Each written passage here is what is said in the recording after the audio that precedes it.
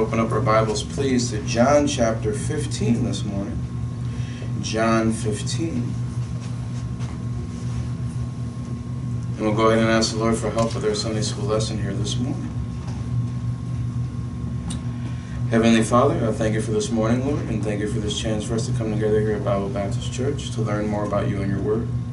And Father, I just ask that you uh, fill us with the Holy Ghost, so we'll be able to illuminate us and teach us with regards to what the Lord uh, preached to the eleven here in John 15 during the Upper Room Discourse. And we give you thanks and praise, Father, for all things, but especially for that salvation that you wrought through your Son, our Lord and Savior Jesus Christ. Amen. And this morning we'll continue our studies here in the Gospel of John. And we're in John chapter 15. John 15 here. And we ended John 14, seeing the Lord tell the eleven, Arise, let us go hence. And there I went ahead and posited the idea that they actually got up from where they were reading and they started walking towards the garden over, over in Cedron, as said in John 18. So John 15 is interesting. It starts talking about some stuff we're going to actually, they would have actually seen these things as they walked down this road. So it's kind of like going through life, and all of a sudden the preacher starts giving you wisdom about cars and about society. He's walking through the city. It's that kind of thing. Okay, that's, that's kind of how you know how somebody's godly. It's just everything connects to Jesus Christ somehow. So the Lord is giving us this example here. And he says in John 15, verse 1, so you can see what he was actually speaking about. We'll go ahead and read all the way to verse 11, the Bible says. I am the true vine and my father is the husbandman. They were walking past vineyards as they were going to this garden over in Cedron. Verse 2 Every branch in me that beareth not fruit, he taketh away. And every branch that beareth fruit, he purgeth it, that it may bring forth more fruit. Now ye are clean through the word which I have spoken unto you. Abide in me, and I in you. As the branch cannot bear fruit of itself, except it abide in the vine, no more can ye except ye abide in me. I am the vine, ye are the branches. He that abideth in me, and I in him, the same bringeth forth much fruit, for without me ye can do nothing. If a man abide not in me, he is cast forth as a branch and is withered, and men gather them and cast them into the fire, and they are burned. If ye abide in me, and my words abide in you, ye shall ask what ye will, and it shall be done unto you. Herein is my Father glorified, that ye bear much fruit, so shall ye be my disciples. As the Father hath loved me, so have I loved you. Continue ye in my love. If ye keep my commandments, ye shall abide in my love, even as I have kept my Father's commandments and abide in his love. These things have I spoken unto you, that my joy might remain in you, and that your joy might be full. And here we basically led, or we basically read the key to the victorious Christian life right here in these 11 verses. Okay? It's profoundly simple what the Lord says here, and it's also simply profound to see it in action. Okay? And I think the saddest part about this is as simple as this is, this isn't really practiced by 90% of Christianity these days. Right? It's a sad reality of what's happened to uh, Christianity during these trying times. And the reason for this is that they don't actually follow these verses here as given in the Bible. Okay? It's almost as if they don't recognize that they need to be in the true vine, which is really the key of the whole thing. Okay? So we'll go ahead and look at these verses and see how the Lord tries to express how we can have a victorious Christian life by abiding in Him. And he starts off in verse uh, 1, giving his seventh I am, where he says, I am the true vine. And the question is, well, what is he referring to? Because remember, he's talking to the 11, and they're Jews, and they know their Bible, okay, much better than us Gentiles who got saved. So let's go to Psalm 80 and take a look. Psalm 80, we'll go to some verses that aren't always used for this. Okay. Psalm 80 in verse 1, Bible says, is a psalm of Asaph. Okay? And he says, Give ear, O shepherd of Israel, thou that leadest Joseph like a flock. Thou that dwellest between the cherubim, shine forth. And here we have the psalmist talking to the shepherd of Israel, which is the God of Israel. And he refers to Joseph. So the context is talking about the nation of Israel, those peoples. Verse 8, same song. Thou hast brought a vine out of Egypt. Thou hast cast out the heathen and planted it. And as we know historically in Exodus, the Lord redeemed Israel out of Egypt and brought them out. And he's calling Israel his vine. Okay? But what's interesting is that the Lord says that he is the true vine, even though Israel, that nation, is called a vine. And the question is, what's going on there? Okay? Well, the Lord is trying to bring a reality here. Okay? He's trying to show the 11 the difference between Israel after the flesh okay, and spiritual Israel, the ones that are the Israel of God. And these 11 here, they're part of that true vine, which is found in the Messiah, who is a physical Jew, okay, but also obviously the God of Israel. He's the shepherd of Israel himself, manifest in the flesh. Okay? And I think that's important to understand because we got a lot of people who are part of Israel today who are trusting a little bit more in their physical genes and their DNA than they are trusting in the Messiah. And they can actually be true Jews ethnically. Okay, like their DNA actually has Judaic lineage. They're part of Israel. Or they can be the rest that try to pretend they're Israel physically. Okay. Either way, the question is whether or not you know the Messiah. Okay?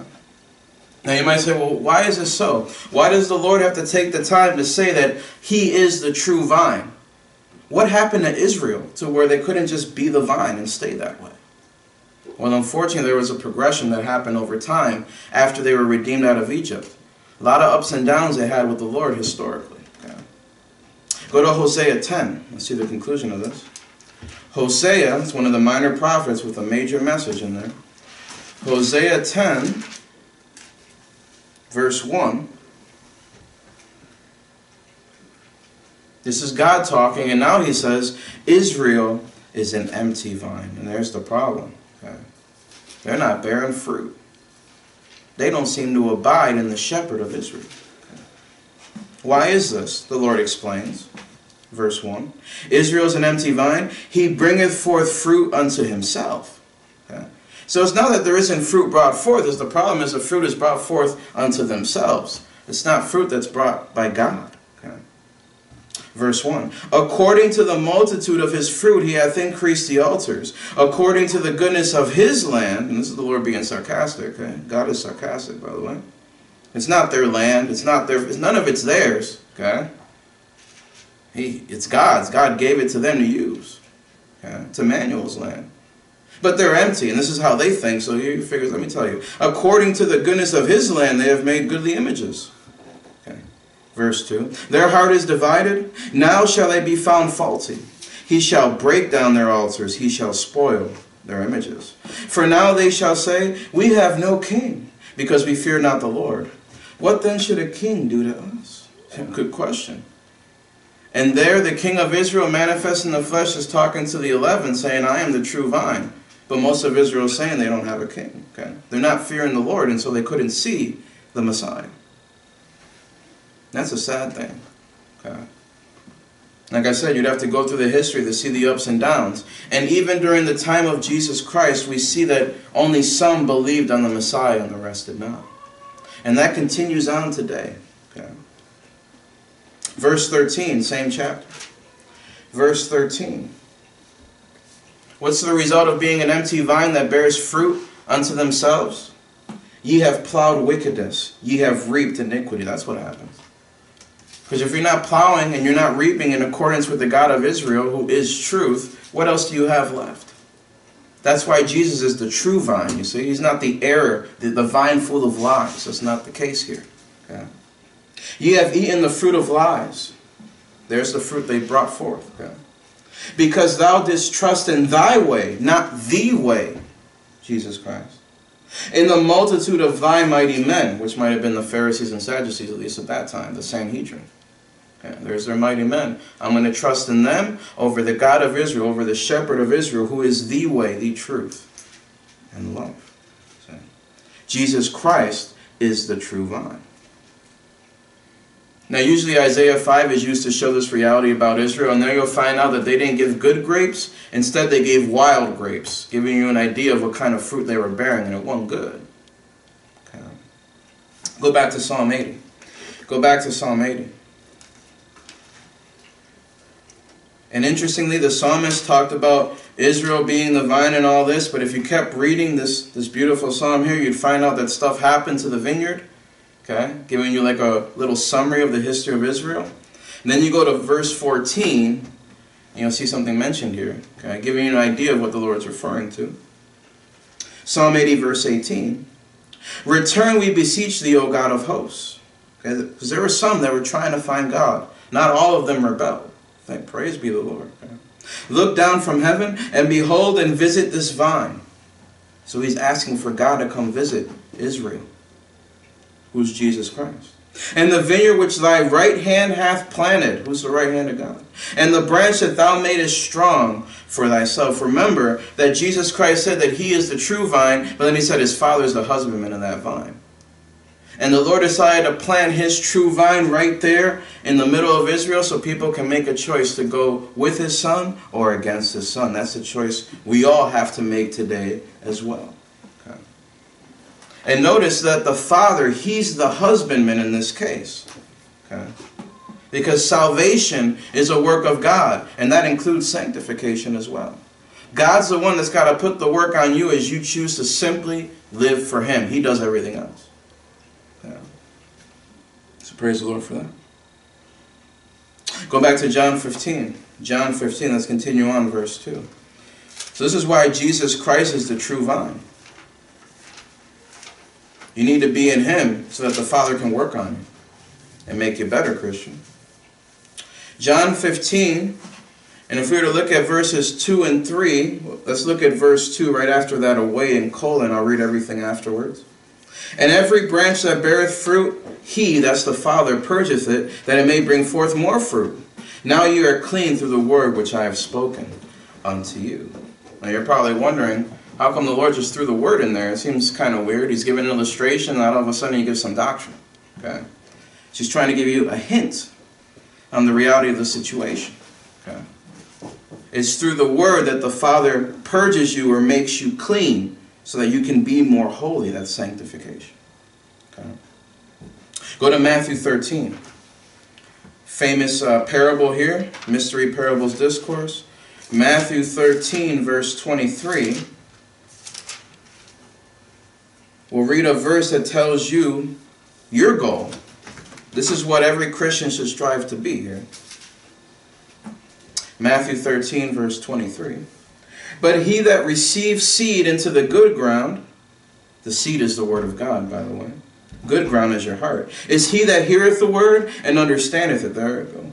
Which also beareth fruit. So now you're in the true vine because you're in the word of God. The husbandman who's the father, he sees that. You're bearing, he decides to purge so you can bring forth, verse 23, and bringeth forth. And then it tells you some in hundredfold, some 60, some 30. But the key to bearing fruit and bringing forth more fruit in your Christian life is to abide in the true vine. To abide in Jesus Christ so that the Father can sanctify you and make you holier. He does the work. Okay. And he does it through the Word. Now, we all understand that the Word is compared to water, Ephesians 5, verse 26. But let me ask you something about grapes. Okay? You ever seen a grape? Okay, They tend to be really juicy, don't they? Okay. Scientifically speaking, uh, grapes are 90% water. Not a surprise, right? Full of water. And if you're a good grape and not a wild one that dries up like a raisin, okay, if you're a good grape, you're going to be full of that water of life. You're going to bear fruit to others. Okay. Now also when we read that verse, we notice that the father being the husbandman, he's pruning, he's cutting, he's going to take pieces off that branch so it can bear more and more fruit. If you know anything about growing grapes and all this, okay, and I don't know much, so I just read about it. Okay, I've never done it. I'll let you know. But it's typical for them to cut back certain portions of that vine yearly, especially the dead parts, so that they can bring forth more fruit later on. Okay? And that's exactly what the Father wants to do with each and every one of us. Because Jesus Christ is the true vine, we're just the branches. And guess what? There's going to be a good amount of our portion, which is that branch that brings life and is trying to live for God. There's going to be parts that are kind of dead. But the Father sees that you're abiding in His Son. And He says, look, you're, you're bearing fruit. Let me cut that dead part off. Let me get rid of that besetting sin in your life. Let me help you have victory over sin. See? And you're going to bring forth more fruit. That's the idea that the Lord's presenting as He's walking with the eleven here. Teaching these doctrines that we've expanded upon over the years. Now, also in verse 2, okay, I think the Lord said, let me go there and just read it. He said, Every branch in me that beareth not fruit, he taketh away. Now, this is a verse that uh, some people read and they think, well, what does that mean? Am I going to lose my salvation? I'm out of the vine. I got taken away. Okay. Now, I don't care what camp you're in. My question is, did you run a cross-reference to check on this? Okay. Is your idea in line with what Jesus is saying? Let's actually run a reference. Go to Ezekiel 15. What's he talking about? Is he talking about your salvation or is he talking about living for God? Is he talking about you getting justified or is he talking about you working for God? What's the situation here? I know many other, other brethren are thinking, well, the context should be enough. And I agree, but unfortunately for some that's not enough. Okay? The Lord is giving an illustration, so I'll give that person credit. Here's some doctrine. Ezekiel 15, verse 2. Okay. I'll read verse 1. And the word of the Lord came unto me, saying, So the word comes to Ezekiel and says, Son of man, what is the vine tree more than any tree? Or than a branch was among the trees of the forest? Shall wood be taken thereof to do any work? Notice that. Or will men take a pin of it to hang any vessel thereon? Behold, it is cast into the fire for fuel. The fire devoureth both the ends of it, and the midst of it uh, is burned. Is it meet for any work? See? The vine tree, as an illustration, is also connected to the works you do for God, not your salvation. This is plain as day right there. Okay?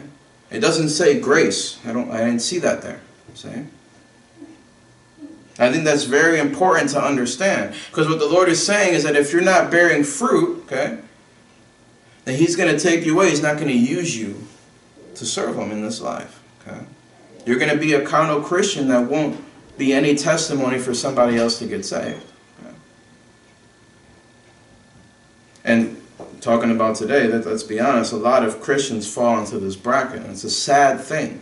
But thanks be to God if you make the choice, even as one of those dead pieces of branch that have been bearing fruit in a while, if you decide to submit yourself therefore to God and start drawing nigh to Him, you will start bearing fruit and the Lord will use you. The choice is yours, Christian. Do you want to be a disciple or not? That's what decides on whether or not your works are useful to God. That's what decides whether or not you're going to bear good grapes that are full of water, or you're going to be some of those wild grapes that that empty vine of Israel was bearing at some time. And you might think you're doing a lot of work for God. You might think you've done so and so, you've got all this money, I got great ministries. When you get to the judgment seat of Christ, okay, or some call the Bema seat, you're going to find out that all that was just chaff to be burned. You're going to be ashamed. Simply because you didn't decide to serve God the way He told you.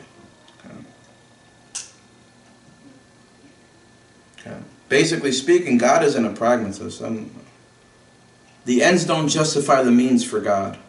He's about people being faithful regardless of the results. Are you going to do things according to my word? Okay. John 15. John 15, go to verse 4. First phrase there says, abide in me. And there's the key to biblical Christianity. There's the key to being a good independent Baptist, good Presbyterian, good whatever denomination is. Are you abiding in Jesus? Because the denominations don't really matter that much. Okay. And I say this because some people read that and they think abide in independent Baptist movement. Abide in Pentecostalism. Abide in the doctrines of, I don't know, any, any of their great preachers they like. Okay, You can think of the guys in the past, Luther, Arminius. Okay, That's what I'm abiding in. No, he said abide in me. Jesus Christ is the true vine. See? Doesn't say abide in your church. You got to abide in Jesus, who will lead you to a local church that's good. Okay? For those that are into that whole fear of man, holiness, super Pentecostalism, it doesn't say abide in your pastor's name. That's not what it says. It says abide in me. Okay. Why do you choose to live under the snare of a person like that? Who does not abide in Jesus Christ because he actually thinks he can tell you how to live your life in that way, in that direct way. Okay. Abide in me, Jesus says. And we, we also the verses in John 8. He talked to those who believed on him in verses uh, 31 and 32, and then he said to them, If ye continue in my word, because Jesus Christ is the word of God, ye shall be my disciples indeed, and ye shall know the truth, and the truth shall make you free, not set you free. A big difference. Okay? You're made free to where you're actually not under the condemnation or the issues that the devil, the world, and the flesh can give you. What a blessing, but you have to continue in his word. And he continues in verse 4 As the branch cannot bear fruit of itself except it abide in the vine, no kidding, it's got to get that source, that root and the fatness and the water that comes up from the root. Who's the root of the stem of Jesse? That's Jesus Christ. There it is. Okay.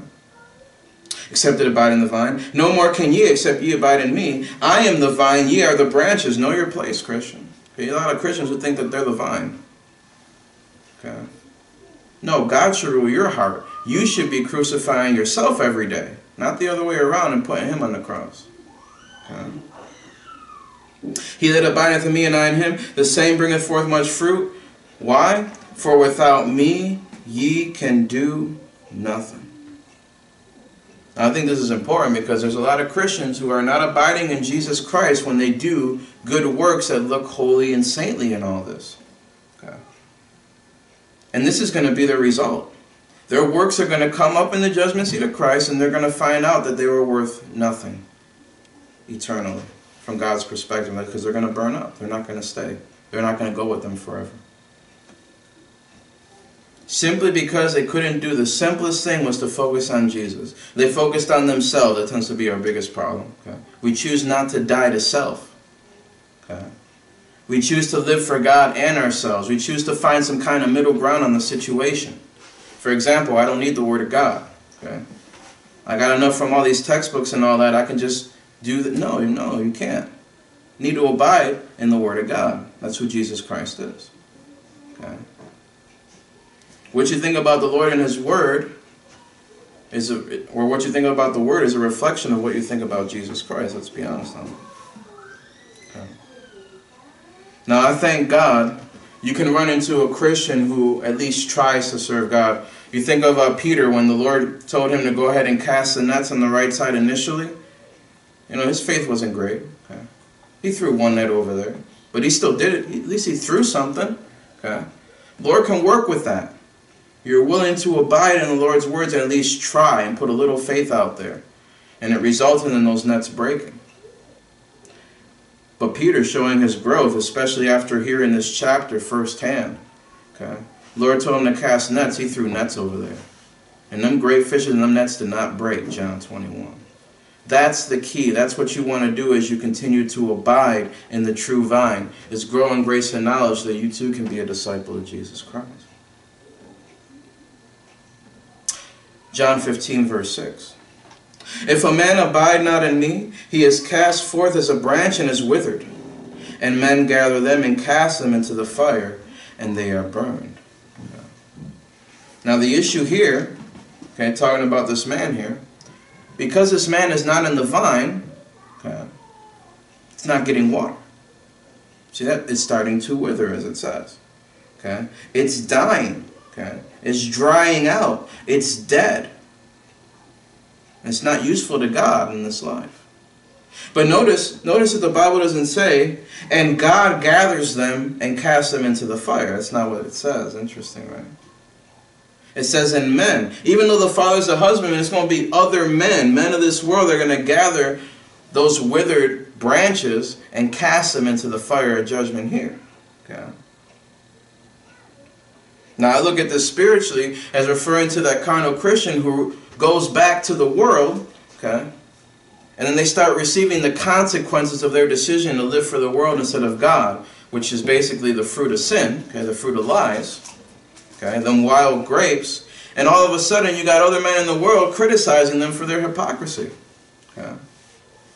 Because if you're truly born again and you try to go back to the world, it's going to be very difficult to try to live on both sides. Even people who don't know God can recognize you used to live for Him and they're going to get on your case.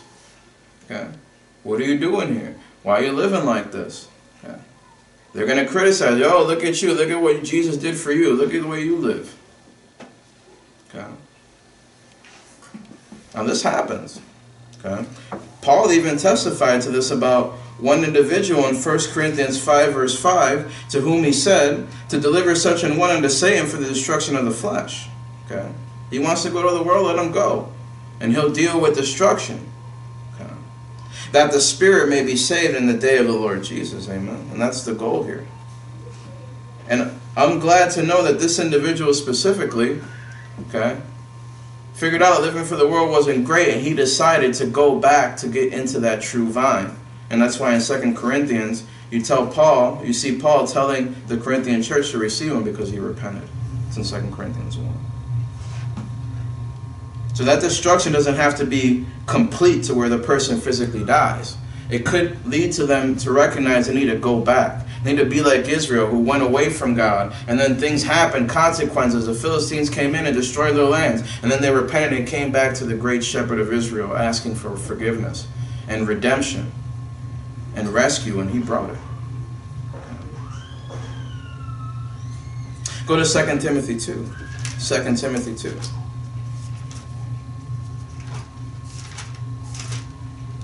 Second Timothy chapter 2. I'm going to read some verses here.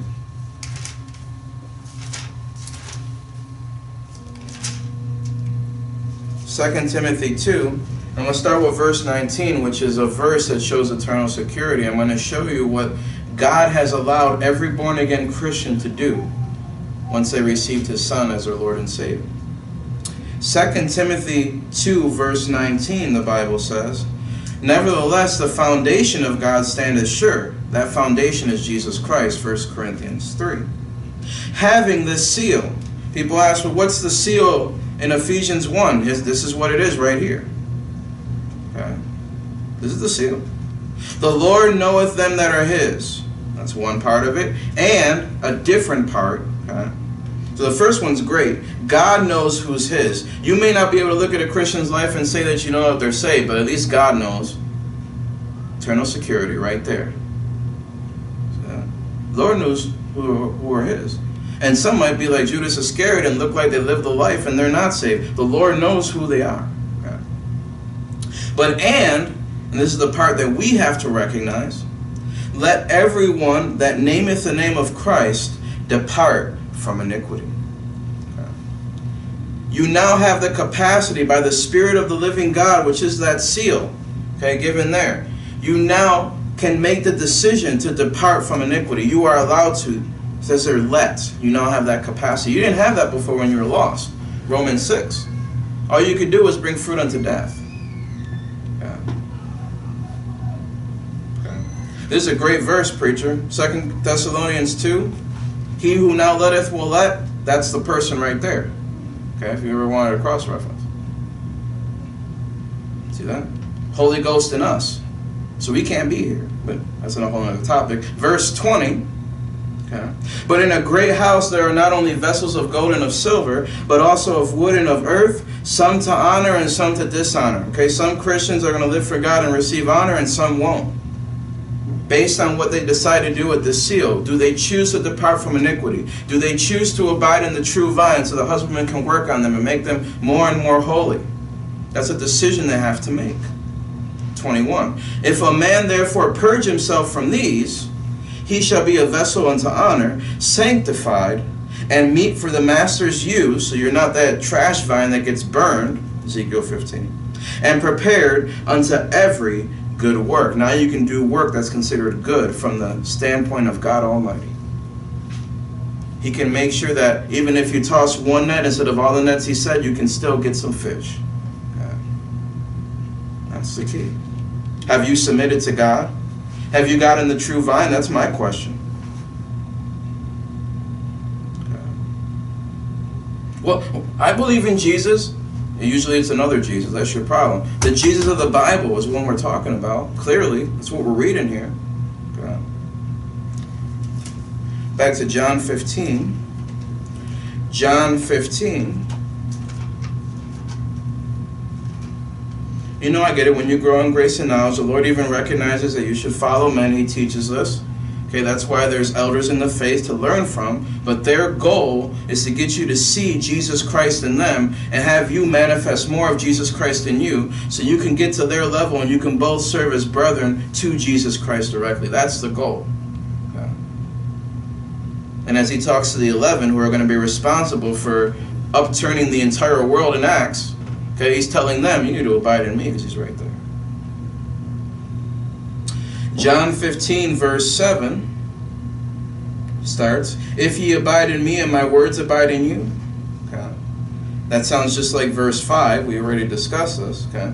Need to abide in him and he in you, which are his words. Have you put the words in you? Have you continued in his word? That's the key to be his disciple. Okay.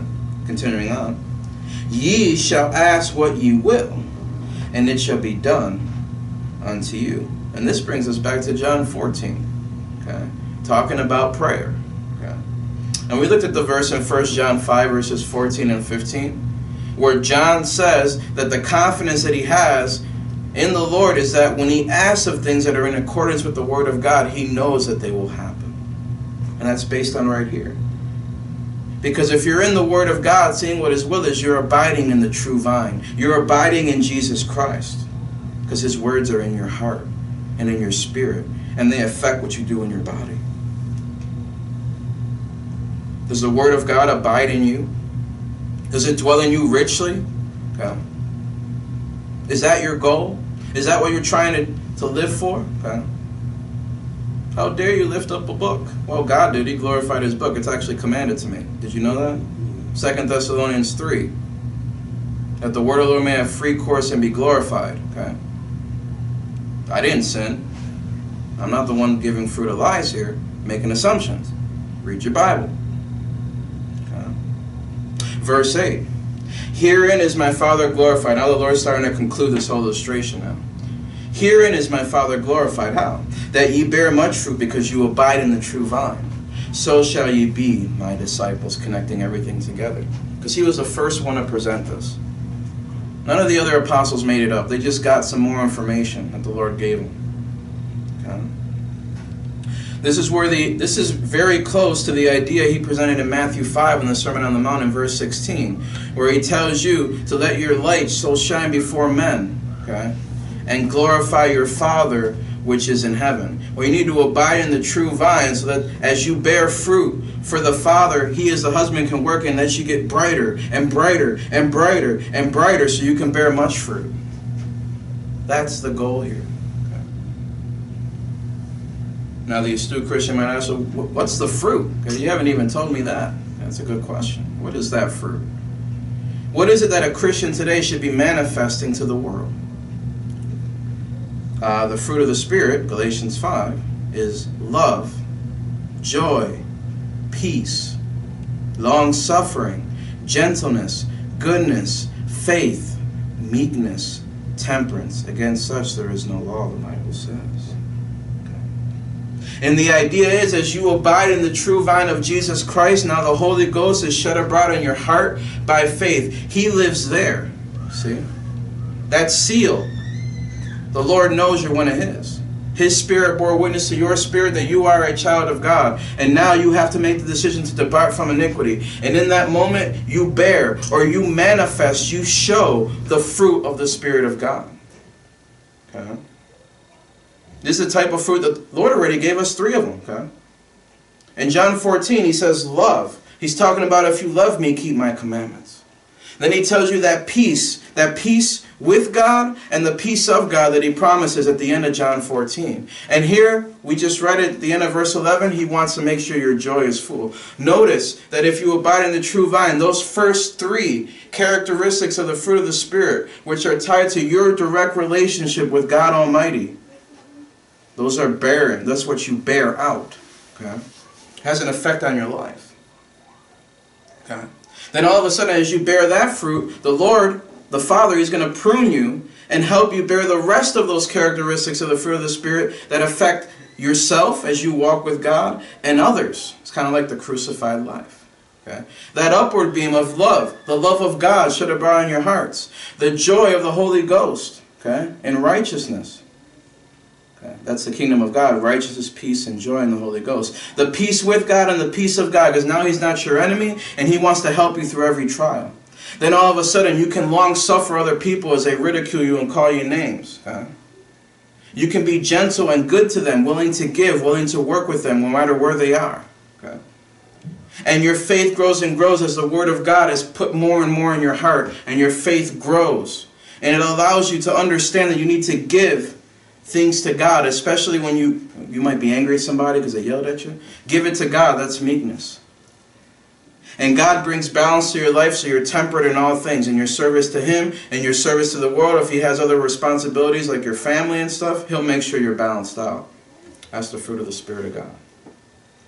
See that? And that's the kind of light that people will see and say, no, he's different. That's a fanatic right there. That's one of them. He's, he's not this Christians out there. He's different. Talk to him. You'll find out all he ever talks about is the Word of God. Okay. Well, all I ever want to talk about is Jesus. That, sh that should be the goal of every Christian. Ye shall be my disciples, what the Lord said. And by that the Father is glorified as you focus on manifesting basically the true vine. Manifesting Jesus Christ in you, the hope of glory. Okay. Is that where you're at? Yeah. And I like that. You start with that little piece, you got saved, you got the love of God in your heart. Okay? You got some joy, you got some peace. You started right there, you bared some fruit. All of a sudden, the Father sees that He's like, okay, it's time to start pruning you so you can bring forth more and manifest more of those fruits as you grow in grace and knowledge of the Savior. And that affects other people who are born again. Okay? Bringing in the sheaves. There it is. Okay. John 15, verse 9.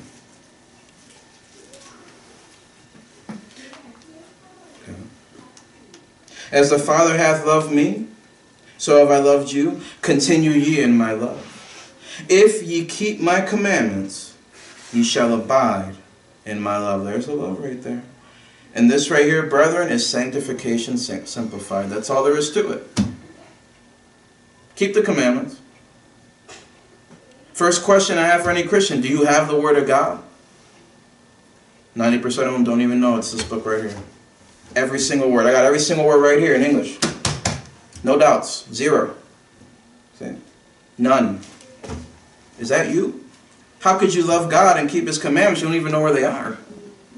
This is what the devil has managed to do over 2,000 years. Confuse Christians in this way. Okay. And sure, I'll admit that at least on this side, of this hemisphere of the world, there's not that much physical persecution going on with Christians. But the majority of them are just spiritually dead in the water. Okay? We're all a bunch of dead branches that are just getting pruned and taken away. We're not useful because we don't even know where the Bible is. How could we love God? We can't even keep His commandments. Yeah. Makes you feel like Daniel a little bit. Tearing up in prayer for the nation, if you will. Christianity. Because it's sad. It's not good when you have so few my age that are willing to live for God. Okay? It's a testament of how much judgment has been brought here to the house of God because we failed in abiding in the love of Jesus Christ. Continuing on, Jude 21 says, Keep yourselves in the love of God. Now you know what that means. It means keep the commandments. That's all it ever meant. It's not that I have to keep I have to maintain my salvation. Has nothing to do with that. Okay? Jude's trying to tell you you need to stay in that common faith that was once delivered to the saints. Jude uh, 3, I believe it is. Okay, same epistle. Okay. And so your job, Christian, is to make the decision to die daily. And usually that decision starts with you waking up, praying to God, and open up your Bible. How many people read their Bible every day?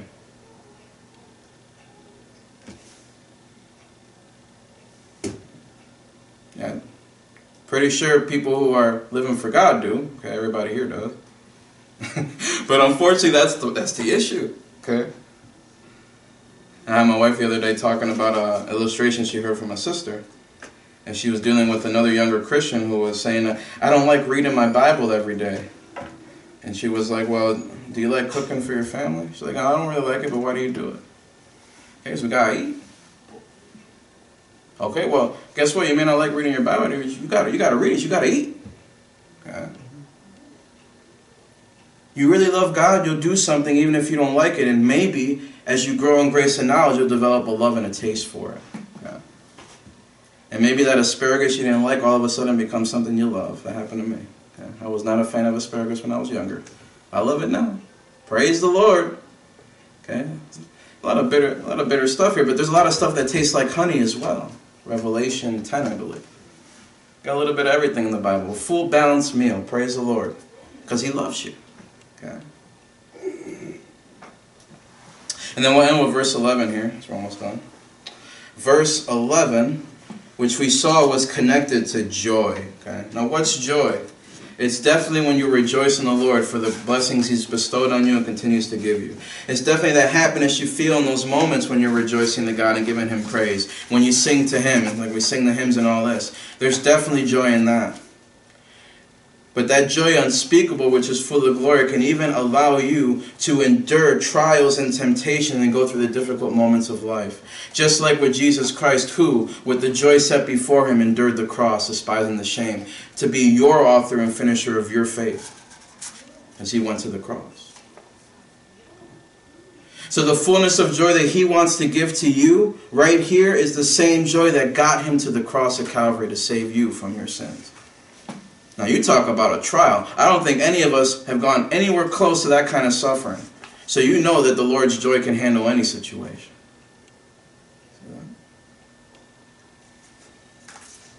Now I'd like to show you something very interesting. Go to Psalm 16. Go to Psalm 16, and older brethren hear me, verse 11. Check this out. Psalm 16, 11. Bible says. Thou wilt show me the path of life. In thy presence is fullness of joy. Talking about the God of the universe. For in his presence you have fullness of joy. As he's shown you the path of life, Jesus Christ is the life. At thy right hand, the right hand of the Father is Jesus Christ. There are pleasures forevermore. But notice, it's in Psalm 16, verse 11. Do you have the 1611? It's the path of life. Fullness of joy in His presence is found here. Because this is the book the Holy Ghost is testifying to. Isn't that interesting? Yeah. Being more general, 1 John 1, okay, he that hath ears to hear, let him hear. That's a little spiritual thing there. But 1 John 1, there's, there's a lot of instances like that in the in the Bible, by the way. A lot of 1611s that are very interesting. Yeah. 1 John 1 and verse 3, John says, yeah, I'm in the wrong epistle here. 1 John 1 and verse 3. That which we have seen and heard, talking about that word of life that was manifested and was with the Father, Jesus Christ that which we have seen and heard declare we unto you, that ye also may have fellowship with us. And truly our fellowship is with the Father and with his Son, Jesus Christ, because Jesus is the true vine. And these things write we unto you, that your joy may be full. I notice that. Okay. So the key to fellowship with Jesus Christ, the key to being in in that presence of God full of joy is actually walking and abiding in the way, the truth, and the life as you come closer and closer to the Father in your walk down here. And that's why the Lord ended his little illustration with verse 11 saying that my joy might remain in you and that your joy might be full. Let us pray. Heavenly Father, thank you for showing us that you are the true vine. And I just ask that you help us recognize our role as the branches, trying to get as much water as possible to bear as much fruit, as many good grapes as we possibly can, Lord. And help us to see the parts of us that need to be chopped off because they're dead, Lord, so we can submit them to you, Father. That way you as the husband can make us more and more holy.